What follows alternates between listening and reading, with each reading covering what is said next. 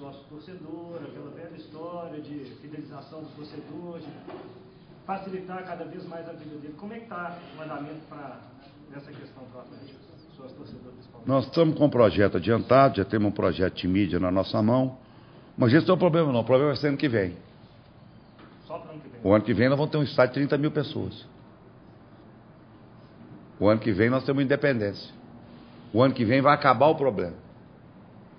Porque nem no estádio vai vender ingresso.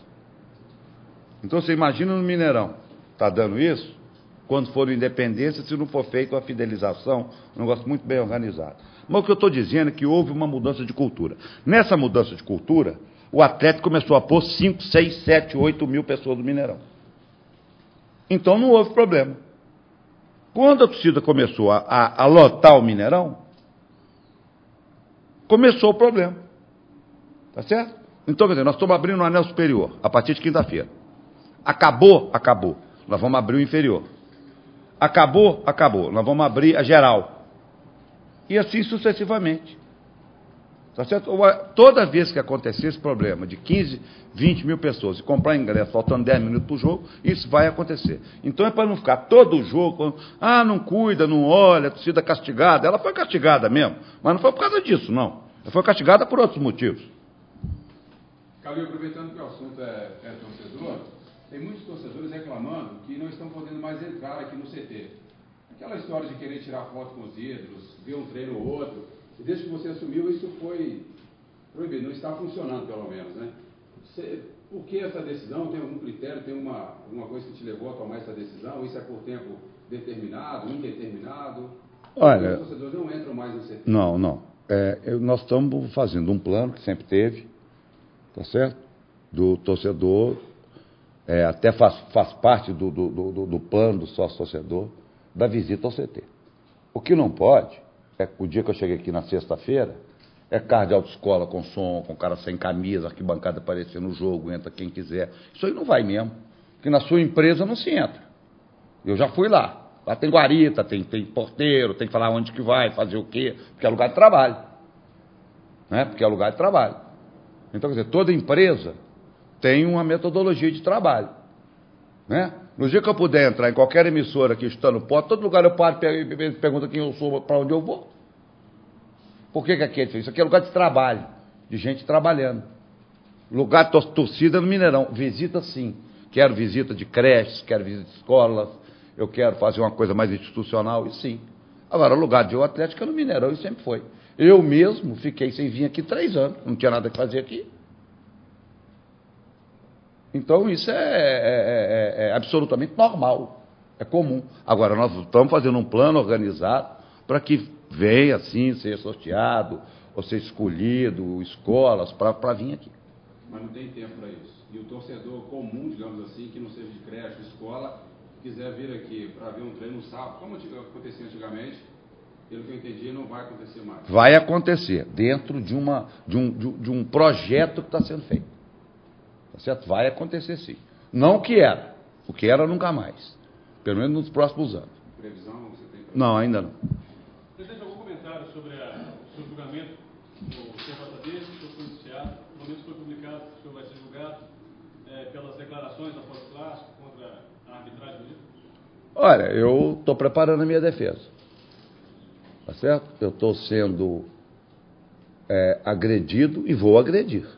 Né? Nós estamos requerendo os inquéritos que estão lá adormecidos da federação. Nós vamos ver como é que vai ser o comportamento do, do Tribunal de Justiça, porque eu não sou o único que reclamei.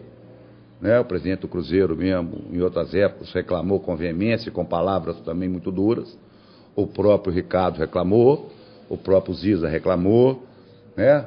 Nós tivemos aí já afastamento do senhor Lincoln, ele voltou, Quer dizer, o Atlético nesse assunto não parou, não. Vai ter muita coisa ainda para ser feita.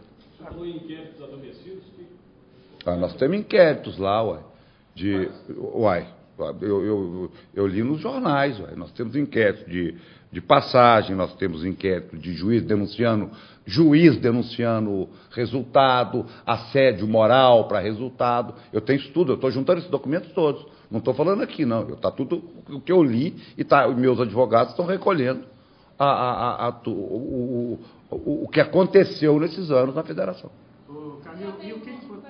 Rapidinho, só um pouquinho. Você já tem um prazo para apresentar essas denúncias? Posso perguntar? Não fui citado ainda. Ainda não fui citado. Calil, Eu li pela imprensa. E você acha que depois das suas declarações alguma coisa mudou na arbitragem do Campeonato Mineiro? Como é que você viu os jogos que foram apitados após as suas declarações? Não, Teve eu- esse jogo que teve uma questão aí do Cruzeiro estava, enfim. É, esse, esse é um também que podia, porque olha, nós temos 25 árbitros, não é isso? Na federação? 25 árbitros na primeira divisão. Eu acho que tem três que devem descansar. É o Renato, que apitou o Cruzeiro de Tuiutaba, que, que apitou o Atlético América. Não foi ele que apitou o Atlético América? É, é. Que, que, que fez aquela cirurgia. É o Ricardo, que e é o Alice. Estão sob suspeição. Agora nós temos 22 atos para apitar. Então eu acho que até assintoso com a gente. Pô, nós estamos pedindo para tirar o chefe e três. É só pôr um chefe novo e ainda sobram 22. Se são 25. Então eu não estou entendendo o, o problema. O problema do meu julgamento é um. O problema de apurar, peraí. Vamos julgar, vamos condenar e tudo, mas peraí, ué, você dá, dá licença, está afastado, você também, vou acabar a apuração. Né, né, quer dizer, é, é, não houve investigação, houve, houve simplesmente, vai haver uma condenação. E eu vou procurar provar a verdade através de outras linhas sem ser a TJD. Você acha que nada mudou então na arbitragem? Olha, a partir do momento do afastamento desse rapaz que apitou o jogo do Cruzeiro, eu acho que aí nós tamo, vamos ter uma arbitragem tranquila. Calil, em julho de 2002 você fez algumas acusações, foi punido um ano. Você acha que você teme agora ser penalizado novamente e ter que cumprir uma suspensão, digamos assim, e nada mudar de novo? Como é que você vê isso? Não, isso aí não, porque é, o TJD é formado por gente bem. Né? Apesar de ter uns dois ou três lá que vão votar com a federação, lá são advogados, homens que conhecem a lei, que conhecem a história. Há um histórico, há um histórico. Nós vamos apresentar, nós já fomos alguns deputados, nós, somos, nós não podemos chegar no Ministério Público como uma banana, com entrevista de um presidente aloprado, né, como eles gostam de dizer. Nós vamos chegar com um monte de papel debaixo do braço. Falar, está aqui, ó. O que, que esses papéis contêm? Aí, aí tem que ver com. Nem eu sei. Eu sei que vai dar um. Vai, vai dar São um denúncias contra só- não, são coisas que aconteceram, que estão na imprensa, que estão nos inquéritos. Está cheio de coisa aí. Eu não vou assistir, igual eu li hoje, ficar 500 dias afastado do futebol, onde eu fui colocado com legitimidade, não ganho salário, não fui eleito, porque o presidente da federação está agarrado apaixonadamente num chefe de arbitragem que já foi colocado em suspeita mais de quatro ou cinco vezes, como eu tenho a documentação toda. No dia da, após o jogo, você falou em quadrilha. Você mantém que essas declarações ou aquilo foi coisa de coração, emoção? Você Deixa eu te mantém? falar uma coisa. Qualquer coisa errada que tenha mais de três pessoas, segundo me informaram, é quadrilha. Quadrilha não é palavrão. Coisa errada com mais de três é quadrilha. Isso não é, isso não é ofensa para ninguém. Se tem mais de três fazendo coisa errada, é quadrilha. Calil não agiu por emoção, sabia o que estava dizendo. Olha, eu, eu, eu, eu, eu, Deus, eu, não, eu não nasci cego. Então, se foi só eu que vi aquilo que aconteceu no Mineirão, eu sou doido. Né? Só eu que vi. Eu dei números. A imprensa não divulgou muito, não, mas eu dei números. Aquele rapaz que expulsa dois, três do Cruzeiro, em 2008 ele já repetia a dose. Olha, gente, eu quero dizer uma coisa. Se o Atlético não perde três pontos para o Cruzeiro, e se o Uberlândia não é operado em Uberlândia, o Atlético é líder do campeonato. O Atlético é líder do campeonato. É só essa gravidade. Mas eu não vim falar disso, vim falar de torcida de Mineirão. Mas já que falar, está falado, é isso mesmo.